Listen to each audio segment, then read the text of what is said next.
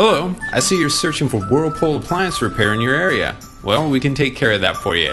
Go ahead and give us a call with the number below, or you can visit our site with the link in the description. We look forward to hearing from you. Talk to you soon.